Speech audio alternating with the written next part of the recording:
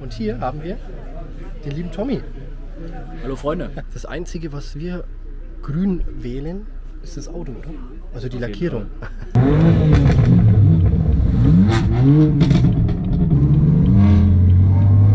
Der ist original im BMW Teilkatalog verfügbar. Ah, okay. Guck mal schnell. Grün auf dem Auto, ja. Aber bitte nicht auf dem Wahlzettel. Ja, einen wunderschönen guten Tag und herzliches Servus hier aus Nürnberg. Ich melde mich heute zurück bei euch, wie immer, mit einem neuen Video und treffe mich jetzt gleich mit dem lieben Tommy. Der liebe Tommy, beziehungsweise auch besser gesagt sein Auto, ist sogar ein bisschen bekannt. Also war auch schon mal in einer ziemlich großen äh, Online-Zeitschrift zu sehen. Ich glaube, war es Beamer Today oder sowas ähnliches. Fährt nämlich einen sehr auffälligen und individuellen, also individual ist hier wirklich Programm. Mein M3 hier ist ja auch individual, aber sein M4, also quasi das zweitürige ja, Pendant, das Gegenstück zu meinem M3, ist da noch ein bisschen auffälliger. Also hier dieses Individual Frozen Black ist dagegen echt langweilig. Achtung, hier halt zu schön.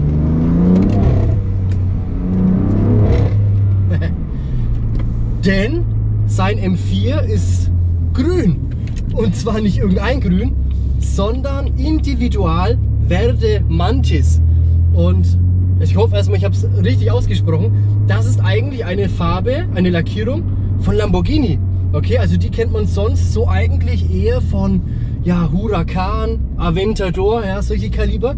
Und er hat sich gedacht, nö, also wenn ich mir einen M4 bestelle oder kaufe, dann sollte der schon auch etwas sportlicher aussehen. Und ja, Haufen Performance, äh, Carbon-Teile, Abgasanlage hat glaube ich, auch was gemacht. Er hat äh, Leistungssteigerung drauf, er hat äh, Fahrwerk oder Federn verbaut, irgendwas.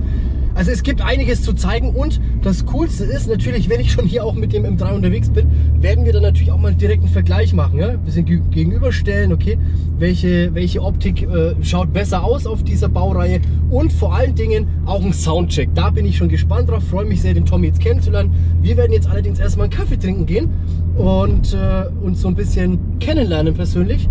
Und ich habe später auch noch eine kleine Überraschung, also Geschenke für ihn. Und ja, würde sagen, für euch geht es jetzt natürlich nahtlos weiter.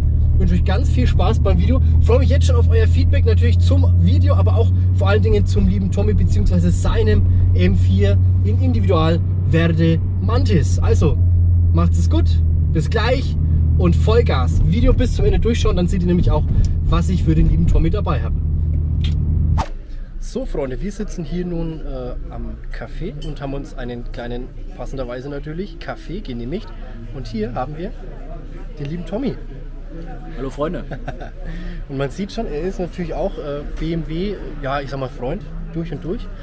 Und Freund am Fahren. Freund am Fahren, genau. Und wir haben gerade schon gesagt, Mensch, die Aussicht könnte kaum besser sein. Schaut es euch mal an. Dagegen sieht der M3 von mir echt langweilig aus.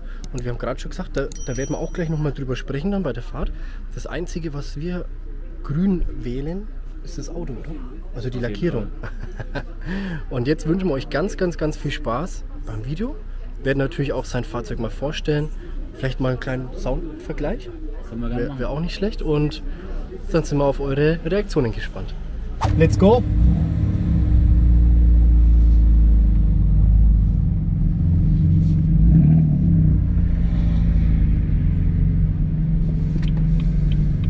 So Leute, wir fahren jetzt zur Ziellocation, an der wir euch das Auto vorstellen werden und auch den Soundcheck machen.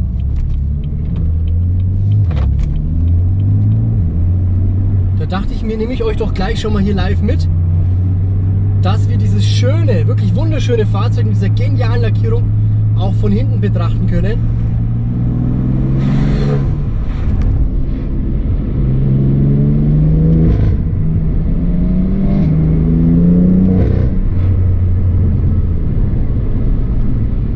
Sehr schönes Fahrzeug.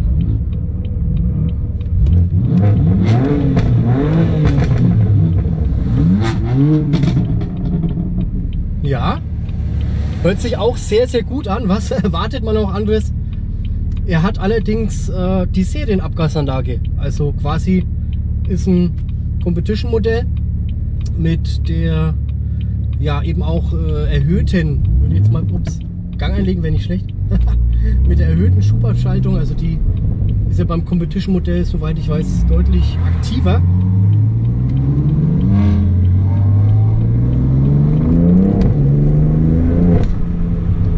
Und äh, ja, Software da drauf, Stage 1, also Motorsoftware und die Getriebesoftware vom M4 GTS. So Freunde, hier kommen wir jetzt nun zur Vorstellung dieses wunderschönen Individual Verde Mantis, also allein schon äh, die Namensgebung, ne? ist wirklich geil. Bekannt von Lamborghini und ja, wie schon vorhin angedeutet, also im Vergleich zu dem hier, auch individual, ist das wirklich langweilig. Ne? Ja, Tommy, stell uns deinen schönen M4 doch mal vor. Was hast du bisher alles geändert? Was war schon serienmäßig verbaut, als du ihn gekauft hast? Und vor allen Dingen, warum in aller Welt hast du dich für so eine geile, aber auffällige Farbe entschieden? Ja, also das ist ein 2017er Facelift ähm, M4 und der wurde, den habe ich als Jahreswagen geholt im südlichen Bayern. Und beim Autohaus Joas gab es den damals. Und ja, ich wollte eigentlich erst einen schwarzen oder einen weißen, aber ich habe dann diese Farbe gesehen und die hat mich dann, als ich das Auto live gesehen habe, so gefangen. Da war es dann einfach vorbei. Und ja, also an dem Auto war folgendes dran: die ganzen ähm, M-Performance-Teile, also der, der Heckspoiler, der war bereits vom Autohaus montiert worden. Mhm. Als auch der ähm, Diffusor unten, alles M-Performance. Genau. Ähm, dann Schön. Ähm, die Spiegelkappen hat das Autohaus meines Wissens nach auch damals noch nachgerüstet. Natürlich ja, die Frontanbauteile, diese, diese Lippe unten und diese Einsätze, ne, rechts und links. Ja, das sieht schon echt pornös aus. Ne? Also der Kontrast zwischen dem Carbon und diesem Grün ist wirklich Hammer. Echt, Ja, das gefällt mir halt auch sehr gut. Und ähm, naja, es ist natürlich ein, ein Kindheitstraum, der da irgendwie damals wahr geworden ist. Jeder, der so ein Auto, der sich so einem Auto entgegensehnt und das dann verwirklicht ähm, und das dann auch liebt und hegt und pflegt, der Genau. wird das, denke ich, mal teilen. Und ansonsten habe ich natürlich dann nach äh, zwei Jahren die originalen Räder mal runtergemacht, weil ich so ein Freund von offenen Felgen bin. Mhm. Und äh, auch wenn, die, wenn dieses 666-Design sehr, sehr, sehr hochwertig ist, aber ich mag halt einfach so dieses klassische 5-Speichen- oder 5-Doppelspeichen-Design. Mhm. Und von Wheelforce gab es da halt einen guten, eine gute Option, die Geil. ja, vom Gewicht okay ist. Mhm. Die sehen echt gut aus, ja. Und Doch. Ja, die passen halt gut dran. Ja, und schön. heute habe ich dann, war ich Kurzer Vergleich nur. kurzer Vergleich. Zu den, das sind die Original Competition Räder, die 666. Genau. Und das hier sind äh, von Wheelforce. Ah, ganz kurz noch, du hast nicht die äh, Carbon-Keramik-Bremsanlage? Nee, ich habe die normale Mhm. Stahlbremse. Erkennt man zum einen, also für, für die Laien, in Anführungsstrichen, viele von euch kennen sich wahrscheinlich deutlich besser aus als ich und der Tommy erst recht. Hier die blauen Bremssättel, die deuten darauf hin, dass es im Gegensatz zu denen in Gold nicht die Carbon-Keramik-Bremsanlage ist. Und natürlich erkennt man es auch an der, am Material, ja, der, der, der Optik am Material. We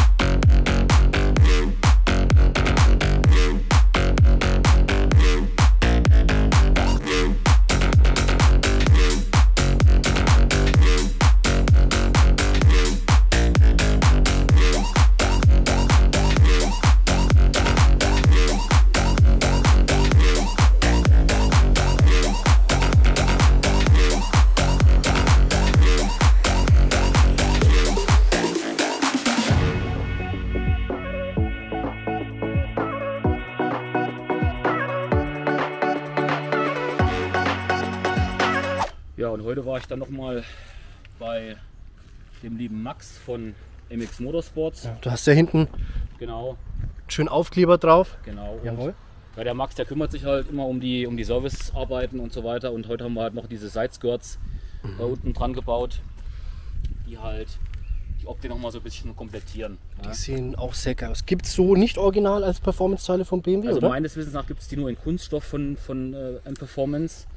Und die Firma Perl Carbon ähm, baut die aber in einer recht guten Qualität nach, oder beziehungsweise baut die in einer guten Qualität. Mhm. Und das Carbon passt von der Farbe und von der Struktur auch ganz gut zu dem originalen wenn man es hier auf dem Dach zum Beispiel auch sieht, also die, die, die Struktur des Carbons und auch die Farbgebung ist nahezu identisch und das Doch. Ist, ja, ist ein schönes Gesamtbild. Ja, doch. Also die, all die Carbonteile sehen aus wie aus einem Ei gepellt, muss man dazu sagen. Ne? Bei mir das Carbondach geht natürlich total unter ne? im Vergleich mit der dunklen Lackierung. Bei dir, da sticht das wirklich sehr, sehr geil als Kontrast raus. Okay, und hier, ich habe vorhin schon mal kurz drauf äh, geblendet, m4.tommy. Da findet ihr den lieben Tommy auf Instagram. Ich müsste wieder mal ein bisschen was machen, das muss ich dazu sagen. Aber Das, da, da ist jetzt der da richtige auch- Zeitpunkt Da dafür. ist, auch- da ist auch unser, unser Verein vertreten. Wir sind ja wir sind in Thüringen äh, ein eingetragener BMW-Verein. Also wenn es da Interessenten gibt, die sich vielleicht ja, mit anderen Gleichgesinnten zusammentun wollen, weil wir müssen in der Autoszene alle zusammenhalten. Das ist immer, wird immer wichtiger, Definitiv, auch ja. markenübergreifend. Ne? Definitiv. Und ja, Das sehe ich auch so. Und da würde ich sagen, wir brechen jetzt mal ein absolutes Tabuthema. Denn ich versuche eigentlich immer, das Thema Politik aus meinem Kanal rauszuhalten. Warum? Man kann eigentlich nichts richtig machen. Weil irgendwer fühlt sich immer angegriffen. Aber jetzt muss man mal ganz ehrlich sagen, grün auf dem Auto ja, aber bitte nicht auf dem Wahlzettel. Äh, nicht, weil ich grundsätzlich das Ganze verteufel, aber überlegt mal, was, da, was die für einen Bockmist machen. Ne? Also äh, Bärbockmist äh, kann man dazu sagen. Das ist ja so nur äh, die Spitze vom Eisberg, wenn man mal überlegt, äh, solche Autos, wenn ihr grün wählt, könnt ihr irgendwann abschreiben. Also die könnt ihr sowieso abschreiben. Sowas wird nicht mehr gebaut werden. Neben OPF und so weiter, es geht alles in, in äh, Richtung Elektro. also meine Meinung insgesamt dazu ist, jeder, hat, jeder kann wählen, was er möchte. Das ist ja unbenommen. Das ist Aber für mich hat Nachhaltigkeit auch was mit Erhalt zu tun. Und ich bin der Meinung, man sollte lieber das, was man hat, erhalten und pflegen, Mhm. anstatt jedes Jahr ein neues Auto zu kaufen. Das ist Mhm. nämlich viel weniger nachhaltig. Genau. Das, was quasi die Industrie oder was die Politik der Industrie vormacht, Ja. was dann die, die Industrie uns quasi immer offeriert, ist vielleicht auch nicht der goldene Weg. Genau, Ne? sehe ich genauso. Und grundsätzlich, wie ihr schon sagt, wählt was, was immer auch ihr für richtig haltet. Und egal was ihr wählt, man kann ja trotzdem nachhaltig leben. Ja, man kann trotzdem Umwelt schonen. Ne? Und bloß weil man so Auto fährt, ist man kein Umweltsünder. In meinen. Augen. Ne? Da, da, ist, ganz genauso. da muss man erstmal die Industrie aufs, aufs Korn nehmen. Äh, ne? Braucht man bloß mal nach China oder Russland schauen, ne? was da ist im Vergleich zu Deutschland vor allen Dingen, ne? was da viel schief läuft. Aber grundsätzlich überlegt euch wirklich gut, auch wenn ihr jung seid und sagt, ja, äh, Nachhaltigkeit, ob grün wirklich die richtige Wahl ist und lest euch mal das Wahlprogramm durch und schaut mal, was die, Ziele so sind immer das verzapfen. eine ne? und der Weg dahin aber was anderes. Das ist ja das, ja. Ja, die Ziele sind toll, Genau. Kann man auf jeden Fall unterschreiben. Ja, Aber wie sie umgesetzt werden sollen, die Umsetzung ist das, ja. Genau. Okay, und jetzt wieder zurück zu den wirklich Zurück wichtigen. Dingen äh, dieses Videos. Ja, natürlich ist, also das, ich finde, Politik ist was Wichtiges. Da muss man sich damit beschäftigen, aktiv. je eher, desto besser. Genau, definitiv. Äh, jetzt würde ich mal sagen, wir gucken vielleicht mal in den Innenraum. Können wir gerne tun. So, das Schöne an diesem Innenraum ist in meinen Augen oder das mit schönste natürlich hier schwarz, ja, als Kontrast zu dem Grün, perfekt. Und was ich jetzt auch gerade merke, Grün zieht die ganzen Fliegen an, aber überall am Auto, vorne, hinten. ja, nicht schlecht, okay. Naja, vielleicht machen sie es ja ein bisschen sauber, ne? schlecken den, den, den Flugdreck ab. Ja, aber das Highlight ist in meinen Augen hier diese, dieses äh, Contrast Stitching, also diese individuelle Kontrastziernaht. Die ist auch dann wahrscheinlich angelehnt natürlich an Verdemantis. Äh, Ist ein Grün, also sieht richtig, richtig gut aus. Das ist auch hier äh, anders als bei meinen. Das sind auch vom Facelift Facelift so, in ne? Schwarz, finde ich, schaut auch hochwertig aus und es schaut stabil aus. Schau es dir mal bei mir an. Okay. Siehst du, wie, wie gebrochen das Mhm. ausschaut zum Teil? Die So- Schrift, die Schrift der Lack ist so ein bisschen, als wenn das so wie, wie so Plaste was gerissen ist. Ne? Sieht Genau, ja, ja, richtig. Also ja. Da hast du hier äh, auf jeden Fall das, das bessere Material. Genau, darf ich mich mal Macht reinsetzen? dein Auto nicht schlecht. Im Vergleich zu deinem ist es aber schlecht. so, und dann hier noch einen roten Startknopf, dass man auch wirklich weiß, hier geht's zu Action. Sehr schön. Genau. Ah, Das sieht schon, sieht schon geil aus. Oder? Wie, wie, wie findet ihr das? Was sagt ihr dazu? Mit diesen grünen Kontrastreden? Oh, du liegst ganz schön, ganz schön entspannter drin. Ich bin immer eher so der Rennfahrer, die Leute schimpfen schon immer. Sehr geil. Oh, jetzt wird's laut. Flugzeug. Da würde ich jetzt wahrscheinlich auch lieber drin sitzen und irgendwo schön gen Süden fliegen. Sehr schick, ja. Und ausstattungstechnisch sehe ich, ist der auch äh, sehr gut dabei. Du hast Der ist, auch der ist, der ist voll, ja. die, die Rundum-Kameras, ne, wie, wie bei mir. Du Also hast alle Heck, Kameras, alle Assistenten. ja, ja, elektrisches Heckrollo, Assistenten. alles am Start. Einen Karton? Ja. Schick. Sehr schön. Ja, doch, gefällt mir gut. Uah. Ja, Und der immer mitfährt bei mir. Ich weiß nicht, ob, ob du den kennst. jetzt bin ich gespannt. Das ist der Viktor. Ach, guck mal hier. Der Viktor. Wo, woher kennt man den? Der ist auf jeden Fall im BMW-Teilkatalog verfügbar. Ah, okay. Ja, Ja, cool. für, die- für die Kinder halt normalerweise. Stark, das ist stark. Okay, ansonsten äh, zum, zum Thema Technik ein bisschen. Du hast die Stage 1 drauf. Also der, der, der Max von MX Motorsports, der hat mir eine Stage 1 drauf gemacht. Ähm, 520, 530 PS, 700, 720 Newtonmeter. Das sind jetzt nicht gemessen, aber das ist so das, was Mhm. ähm, laut seiner Aussage bei rumkommt. Das ist auch wirklich spürbar, das kann man schon so sagen. Und äh, GTS-Getriebesoftware haben wir gemacht. Mhm. Dann haben wir die Charge Pipes natürlich ähm, verstärkt, Mhm. also halt Alu gezogen. Ähm, die Boost Pipe ist geändert, die, dann sind ähm, Stoffluftfilter äh, drin, man halt Mhm. auswaschen kann. Und so ein bisschen paar Kleinigkeiten. Aber jetzt keine tiefen Eingriffe, also keine, keine Downpipes, äh, keine Motoröffnung, keine, Mhm. keine Motorsporttechnik in dem Sinne. Okay, okay. Human alles. Okay, und das, du reicht, das reicht aber auch. Okay, und du hast auch die Getriebesoftware vom GTS drauf. Genau. Ne? Merklicher Unterschied? Spürbar? Ja, also ich glaube, die, ich glaub, die, Einku- die Einkuppeldrücke und so weiter sind noch mal ein bisschen optimiert. Also Mhm. mittlerweile fällt es mir nicht mehr auf. Am Anfang habe ich es aber schon gemerkt. ein Mhm. Das Okay. ist schon ein bisschen merkbar. Ja. Okay, super, sehr schön.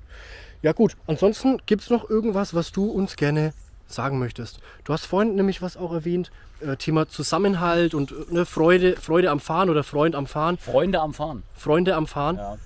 Definier das mal. ja, also ich bin halt der Meinung, ähm, Leute, trefft euch, engagiert euch, tut euch zusammen, tut was für einen guten Zweck. Das kann man auch mit Autos tun. Ja. Das machen wir normalerweise, wenn jetzt nicht gerade das große böse C über uns schwebt, machen wir das im Verein auch. Und also wir versuchen halt immer das Schöne mit dem, mit dem, mit dem Nützlichen zu kombinieren. Okay. Oder auch ansonsten ist es schön, mal zusammen eine Ausfahrt zu machen, mal ein gemeinsames Ziel anzusteuern.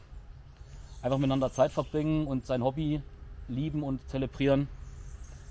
Das ist das, was uns am Wochenende vor die Tür treibt, würde Ja, ich sagen. ja Ne? definitiv. Tolle Worte, Tommy. Ja. Sehr schön. Okay, ich habe übrigens auch noch eine Kleinigkeit für dich. Erzähl. Ja, du bist ja jetzt extra gekommen. Äh, halt du mal bitte die Kamera. Warum? Damit, man, damit ich es holen kann und damit man nicht sieht, wie, wie mein Kofferraum ausschaut. Also bitte nur hier. Okay. Keine Leichen drin. nee, aber kannst du herschauen.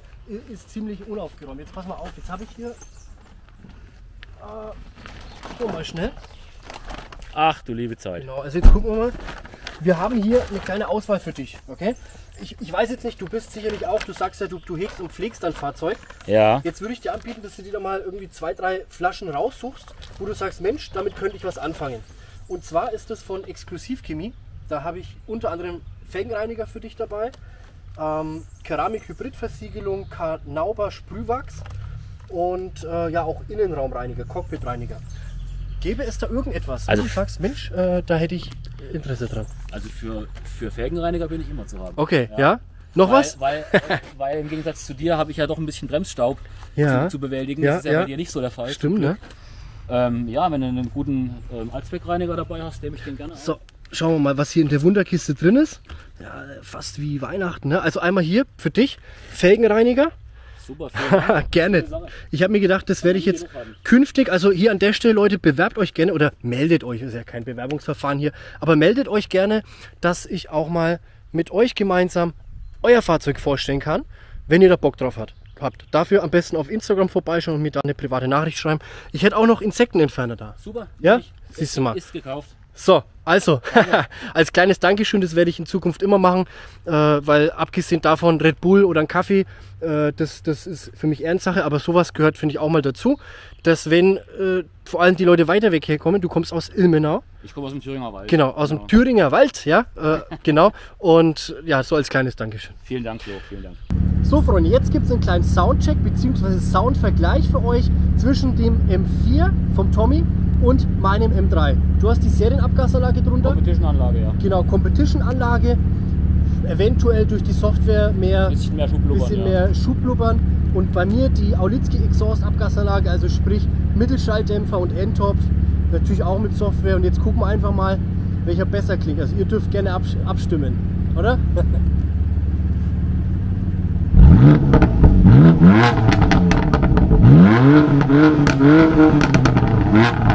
Er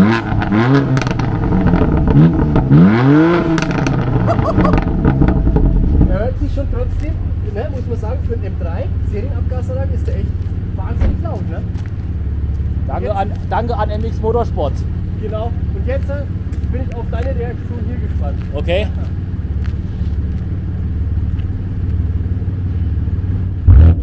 Ja.